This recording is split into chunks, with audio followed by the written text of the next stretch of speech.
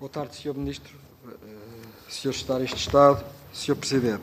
Gostava de eh, enaltecer a medida de apoio em relação aos antigos combatentes, que se, que se consubstancia na atribuição do apoio de 100% da parcela não comparticipada pelo Serviço Social de Saúde para os utentes pensionistas beneficiários do Estatuto e a majoração para os 90% da comparticipação dos medicamentos psicofármacos para todos os beneficiários do Estatuto que não são pensionistas.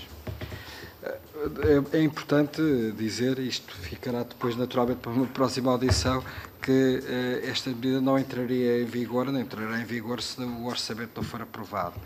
Mas seja como for, eh, é muito importante enaltecer isto, porque não houve nenhum governo nos últimos 20 anos, nos últimos 20 anos, que tivesse dado uma palavra factual, real, uma ação concreta em relação aos antigos combatentes, que são heróis na acessão eh, filosófica do termo, de- porque foram chamados a uma missão maior, a uma missão em que eles se ultrapassaram a si próprios em nome de algo que lhes foi exigido e que lhes foi convocado e para o qual, e para o qual eh, a esmagadora maioria foi apenas convocada, arrancada das suas aldeias, dos seus arados, dos seus ofícios, na flor da sua vida e nos melhores anos da sua juventude.